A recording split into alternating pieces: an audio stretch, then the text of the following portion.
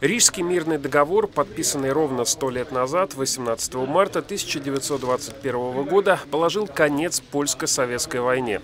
В результате падения Российской империи Польша обрела независимость, но уже вскоре напала на советскую Россию, желая восстановить страну в границах Речи Посполитой.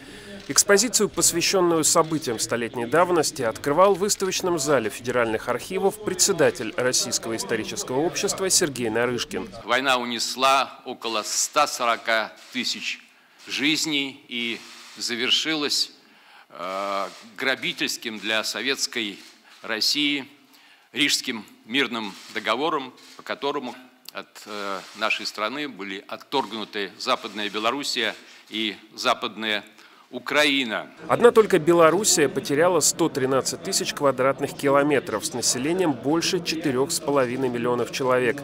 Это были в основном русскоязычные жители, из которых новые власти попытались сделать поляков. Проходила полонизация.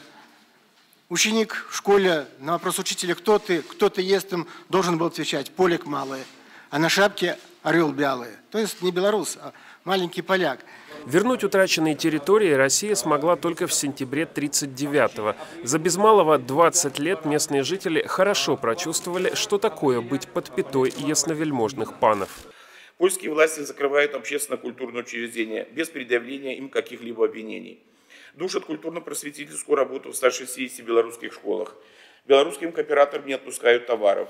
Разоренные э, войной белорусам не оказывается помощи и другие русофобская политика Пилсудского, восхваляемая сегодня многочисленными польскими пропагандистами, в конечном счете не принесла его стране никаких значимых дивидендов.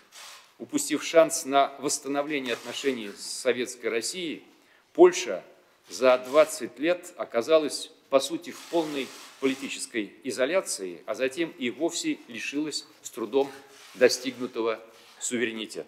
Круглый стол, интернет-проект и экспозиция о столетии Рижского договора дают возможность составить комплексное представление о событиях польско-советской войны и ее последствиях. Свой вклад в создание выставки внес и российский МИД, глава которого Сергей Лавров направил видеоприветствие. Многие из документов, находившихся на особом режиме хранения, были рассекречены специально для этой выставки и впервые вводятся в научный оборот.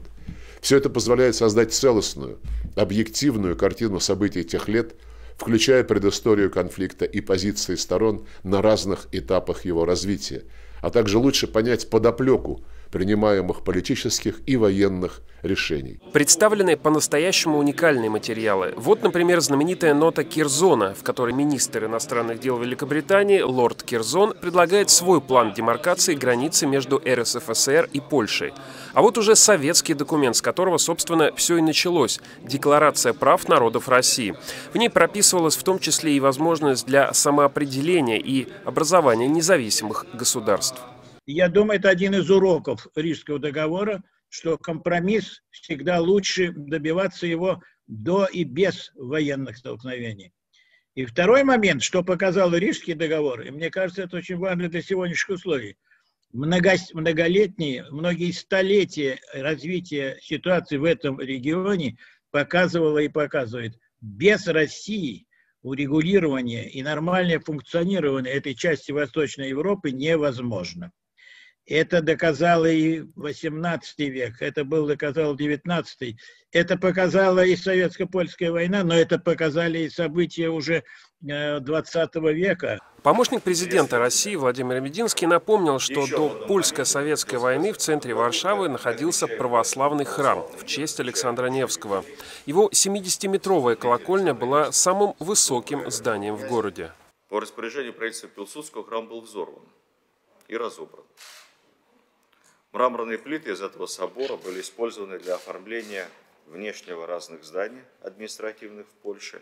Поставить хотя бы памятный крест на месте уничтоженного, выдающегося произведения архитектуры, а, было бы достойно. И э, я призываю польские власти э, подобного рода памятный крест установить, а если у муниципалитета Варшавы будет недостаток средств, то я думаю, что мы совместными усилиями Российского исторического и военно-исторического общества все это организуем. Хорошее предложение Российское историческое общество поддерживает вашу инициативу. Служба информации Фонда «История Отечества».